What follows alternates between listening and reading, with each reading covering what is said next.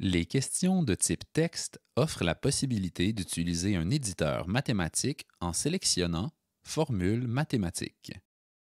Cette option peut être utilisée par la personne éditrice de la question et par la personne qui répond à la question.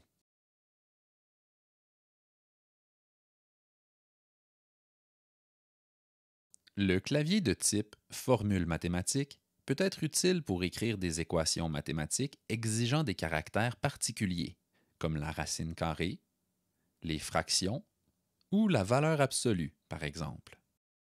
Cette option peut s'avérer très aidante pour toute personne qui désire écrire une équation ou une formule chimique qui combine l'utilisation des opérateurs mathématiques et les indices.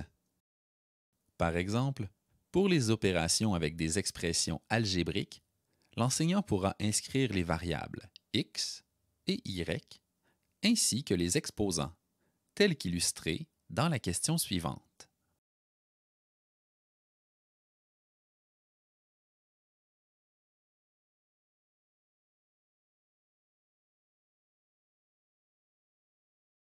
Le répondant pourra ensuite inscrire sa réponse en ayant accès aux fonctions mathématiques.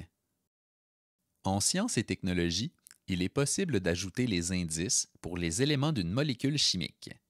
Par exemple, dans une équation de balancement d'une équation chimique, le répondant pourra ensuite inscrire l'équation balancée.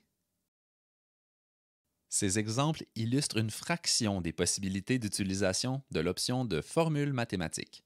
Nous vous invitons à explorer les multiples options qui deviendront indispensables, particulièrement en mathématiques et en sciences.